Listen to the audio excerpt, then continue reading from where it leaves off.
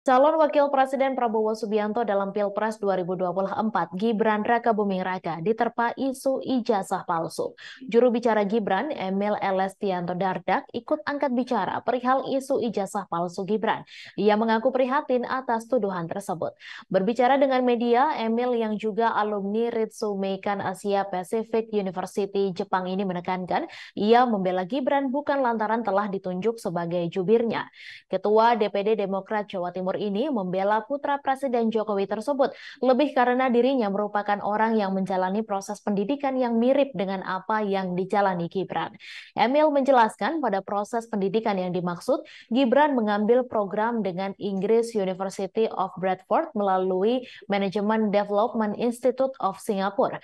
Bukan hanya Gibran, Emil bercerita bahwa dirinya pernah mengambil program dengan University of Wales melalui sebuah perguruan tinggi Indonesia yang namanya Universitas Universitas Indonesia Esa Unggul.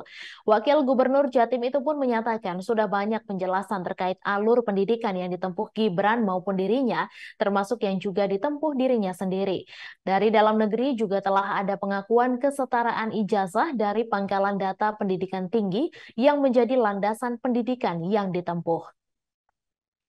Karenanya, Emil Dardak yang juga memperoleh gelar diploma dari Melbourne Institute of Business and Technology ini berharap hal tersebut tak menjadi polemik berkelanjutan.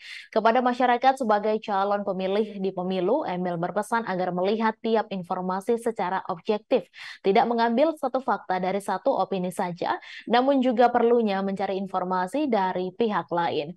Sebelumnya, Dr. Tifa menyoalkan ijazah Gibran Raka Buming Raka yang dituding palsu serta setara SMA. Hal ini pun viral di media sosial. Melalui akun Twitternya, ia mempertanyakan keabsahan ijazah S1 Gibran. Dalam unggahannya, Dr. Tifa menuding ijazah Gibran palsu dan hanya lulusan program studi yang setara sekolah menengah kejuruan atau SMK. Download Tribun X sekarang, menghadirkan lokal menjadi Indonesia.